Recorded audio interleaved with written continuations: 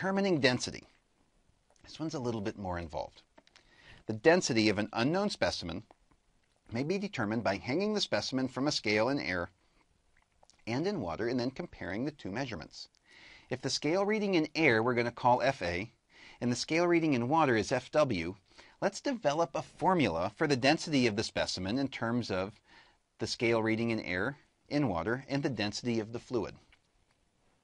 I'm going to start with the free body diagram. When we're in air, we've got mg down, and we've got FA on the scale up, and those will be balanced because it's sitting on the scale at equilibrium. When it's in water, our free body diagram is going to look similar but a little bit different. We've still got the weight down, but now we have the buoyant force up along with the force of the scale, Fw. So, starting with the water, we've got Fb, the buoyant force, plus the force of the scale when it's in water must be equal to its weight because it's at equilibrium. And we also know that the force of air is equal to mg. So I could rewrite this as Fb plus Fw equals Fa. But that buoyant force is equal to rho fluid Vg.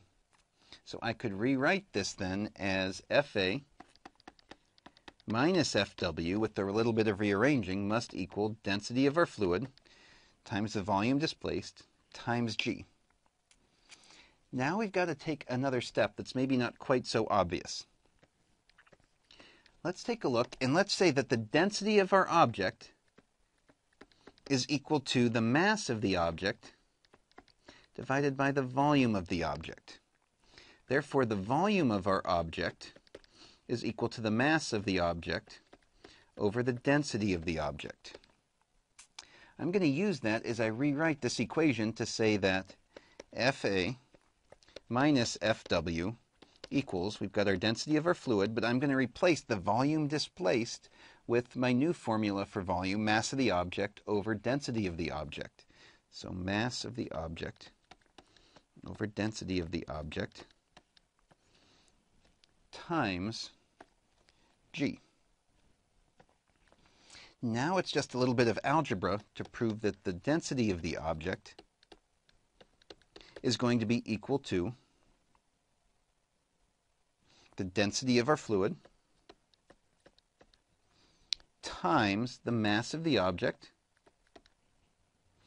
times g divided by Fa minus Fw. Just a little bit of rearrangement to get the density of the object all by itself. And finally, one more step, that FA, uh, we can change that a little bit. We can rearrange things. So let's then say that the mass of the object times g, that's just its weight in air, Fa. So mass of the object times g right here, I'm going to replace with Fa to write that the density of our object is equal to well, we've got Fa times the density of our fluid divided by the scale reading in air minus the scale reading in water. Hopefully that gets you a good start on density and buoyancy as we start this new section on fluids. Appreciate your time and make it a great day, everyone.